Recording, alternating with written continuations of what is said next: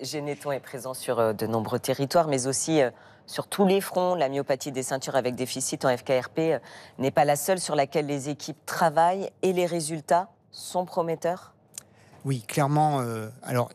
Il y a aujourd'hui 13 candidats médicaments qui sont issus de la recherche de Généton qui sont en essai clinique euh, dans des maladies euh, euh, du sang, du foie, de la vision, évidemment du muscle. et si on reste sur le focus de la matinée, qui sont les myopathies des ceintures, il y a par exemple un candidat médicament dans la gamma-sarcoglycanopathie, qui est la plus sévère hein, des myopathies des ceintures, pour lequel un essai va démarrer à la fin de l'année ou tout début d'année prochaine.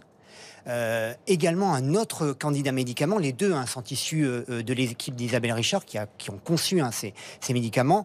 Ce second médicament, c'est pour la calpéinopathie. il est dans une phase avancée, dans notre jargon en phase préclinique, hein, c'est-à-dire qu'on est en train de préparer le dossier de demande d'essai clinique. Et ce médicament, en fait, il vise à traiter une pathologie qui touche un des visages cette année du Téléthon, Félicie, que vous avez certainement vu.